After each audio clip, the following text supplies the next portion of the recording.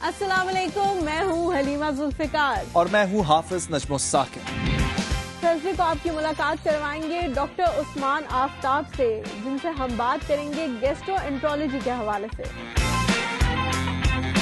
और हमें ज्वाइन करेंगे renowned educationist doctor Zafar Iqbal जिनसे हम बात करेंगे इस्लामोफोबिया के हवाले से। तो देखना ना भूले एक और सुबह सिर्फ़ और लाइफ पर।